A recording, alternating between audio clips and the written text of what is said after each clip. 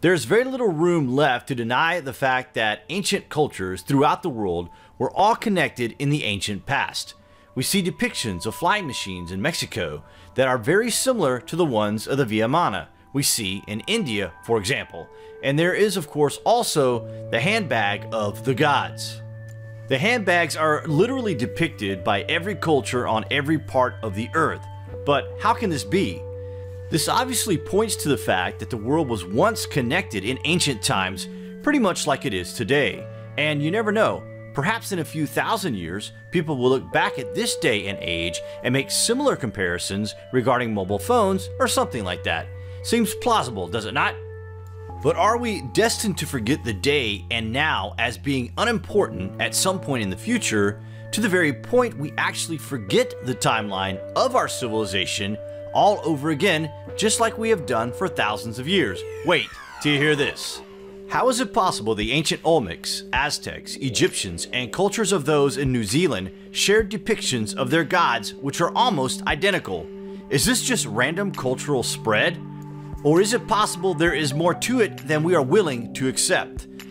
The La Venta Stele 19 offers a curious representation of the feathered serpent a humanoid figure sitting in some kind of vehicle or chair as if manipulating some sort of device. At first, this may not sound extraordinary or weird. However, it becomes strange when you find nearly identical representations of gods halfway around the world.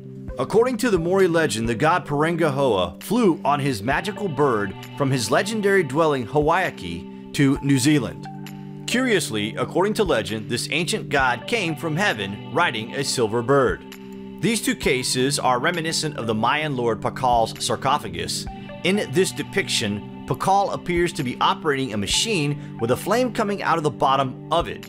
It is so named Lord Pakal's spaceship because of these features.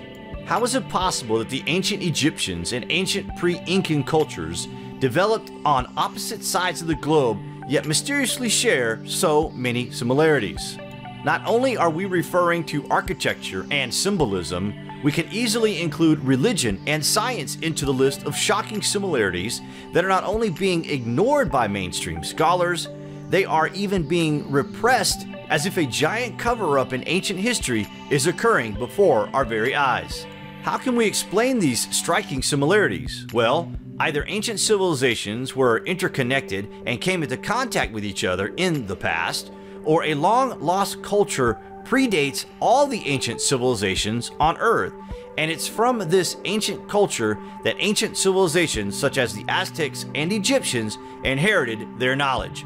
Imagine for a second that this was true, and by the way, it does seem plausible. An ancient forgotten civilization inhabited our planet. Were these beings the Atlanteans that taught all other civilizations similar traits? We can explain the striking similarities of worldwide culture with this theory. We have to start taking into account the possibility that such a mother culture existed in the past and predated all ancestral civilizations. This, however, would mean that history as we know it today is only partial, incomplete, and points to the fact that human beings are in fact a species with amnesia. While today's scholars reject the notion that a mother culture existed on Earth in the distant past, and reject with even greater notion the idea of Atlantis, there are many indicators that cannot be overlooked while studying ancient civilizations around the globe. Agriculture is known to have started near the Mount Ararat. This is also where the Ark of Noah was said to have come to rest. This is where the survivors of the Great Flood started a post-cataclysmic civilization that would spread out in every direction from this point and place. Could these bags represent seeds that were preserved on board the Ark in some sort of vault? Maybe they were distributed across the world as we repopulated the globe after the Great Flood.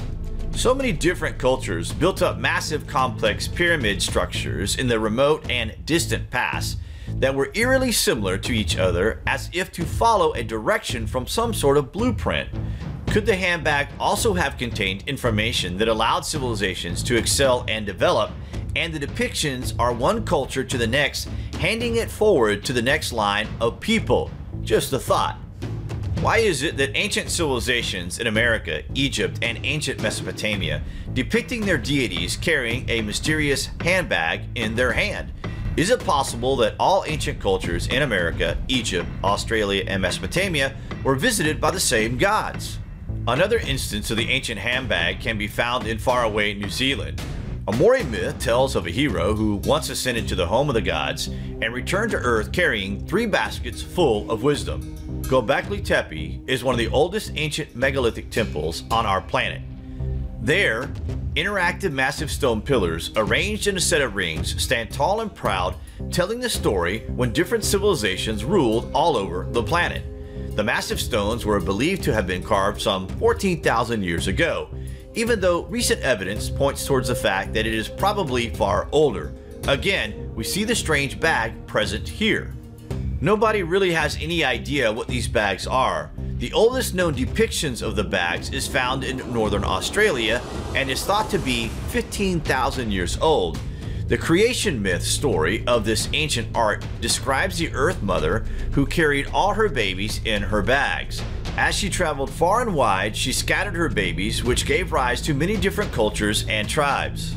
Even in North America, there are petroglyphs that are roughly the same age as the Australian depictions. Again, we see the ancient handbag apparently being portrayed as carrying the seeds of life. Could the civilizations around the world all be scattered remains of the lost empire before the Great Flood? Each culture appears to be telling the same stories, and all this is fitting in with the time in history of when the flood took place. What do you guys think of the idea that ancient cultures around the world were the survivors of the flood and knowledge was passed down from one civilization who survived on board the Ark with all the equipment to make life flourish again on Earth after the great cataclysmic flood? We told you the truth would seem strange. What are you thinking? Comments below and thank you for watching.